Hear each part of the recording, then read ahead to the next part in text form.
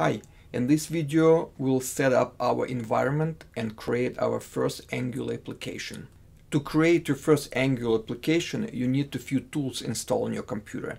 Let's look at those tools that you need to install. First you need a code editor. You can use any code editor you want. I prefer VS Code. It's one of the best code editors made by Microsoft and it's also free. If you go to this website you will be able to download the version for Windows, Linux or Mac.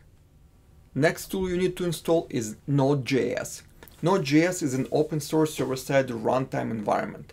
You need it to run your Angular applications. To download it, you need to go to this website, nodejs.org, and download the latest version. I prefer the LTS version, it stands for long-term support and right now it's 18.12.1. Next tool we're going to be using is npm, Node Package Manager. Node Package Manager is coming with Node, so as soon as you install Node, you're going to have npm, and just to make sure you have the most current version, you can actually type this command and it will give you the version that is installed on your computer. Let's see how it works. And the way you do it, you can click on Start menu, type cmd, and click on the command prompt. So when it opens, you can type node space dash v and as you can see I have version 16.17.0 installed. To check the version of your node package manager type npm-v and press enter.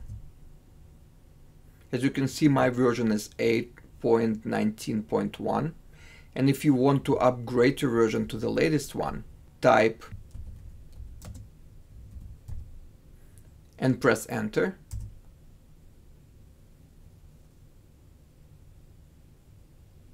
Now with my arrows up and down I can find my command npm-v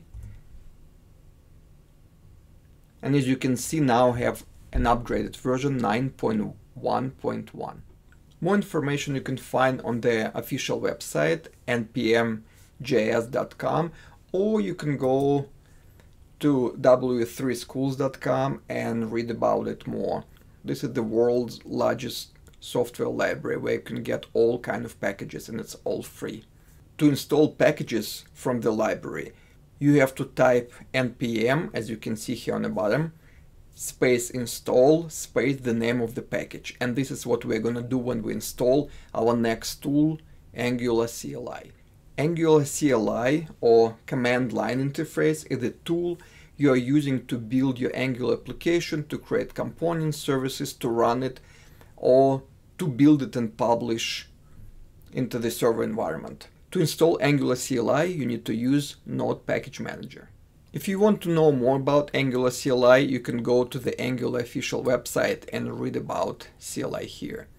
Also, Angular official site is the best source for information, so if you go to the official website Angular.io and click on Docs, you will have all information, including tutorials, how to use Angular CLI and how to build Angular projects. After you run this command to install Angular CLI, let's check if it's actually installed and what version of Angular CLI you have. To do it, let's go to our command prompt.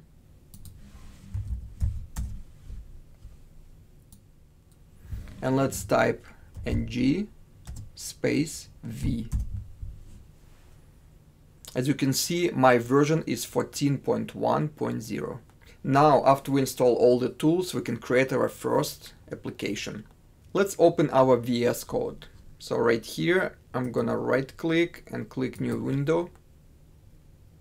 I'm going to close this get started window. Go to file, open folder.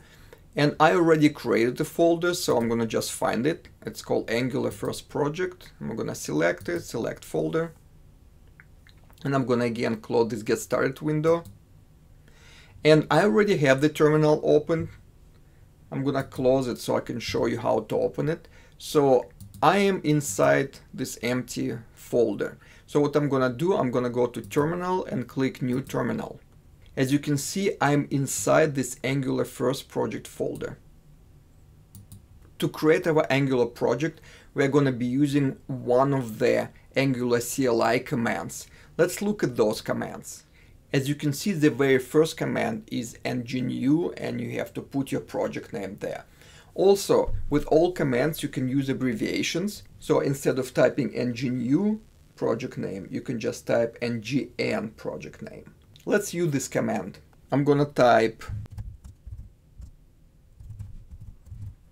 ng-new first project and press enter.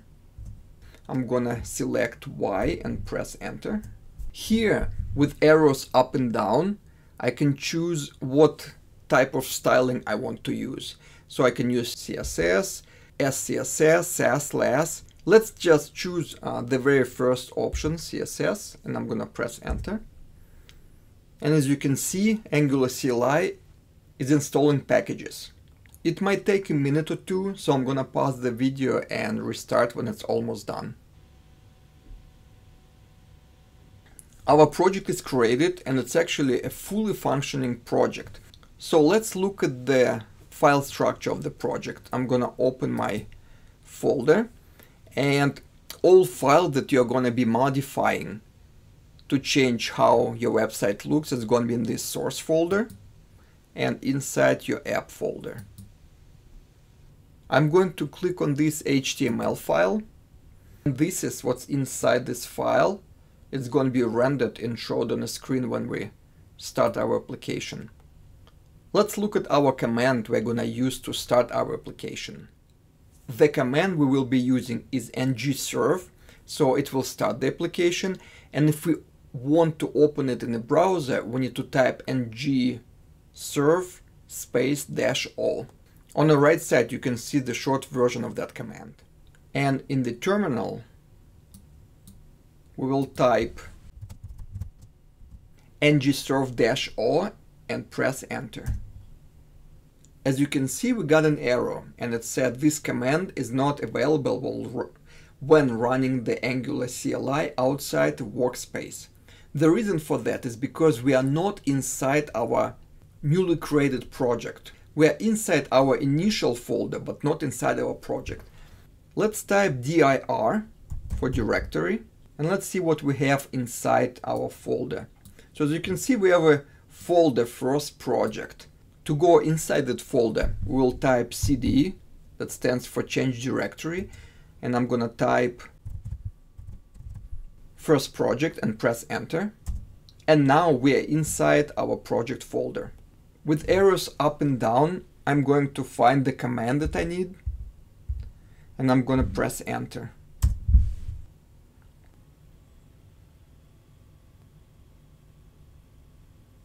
And this is my first project that was open in a new tab. Let's remove all boilerplate code and place something on the screen really simple. I'm going to go back to VS Code, click inside this file, select everything by pressing Ctrl A, and I'm going to delete everything by pressing Ctrl X. Now let's place just one H1 tag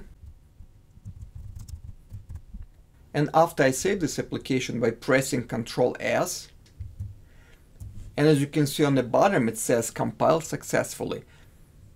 When I go back to my browser, I have my H1 tag displayed on the screen. I hope this video was helpful and thank you for watching.